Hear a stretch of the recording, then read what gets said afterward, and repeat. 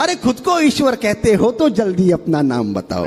खुद को ईश्वर कहते हो तो जल्दी अपना नाम बताओ। इतना सुनते ही माधव का धीरज पूरा डोल गया। तीन लोग का स्वामी फिर बेहद गुस्से में बोल गया, अरे कान खोलकर सुनो पार्थ, मैं ही त्रेता का राम हूँ। कान खोलकर सुनो, पार्थ मैं ही त्रेता का राम हूँ। कृष्ण मुझे सब कहते हैं, मैं द्वापर का घनश्याम हूँ। रूप कभी नारी का रखकर मैं ही केस बदलता हूँ। धर्म बचाने की खातिर मैं अनगिन वेश बदलता हूँ। विष्णु जी का दशम रूप में परशुराम मत वाला हूँ।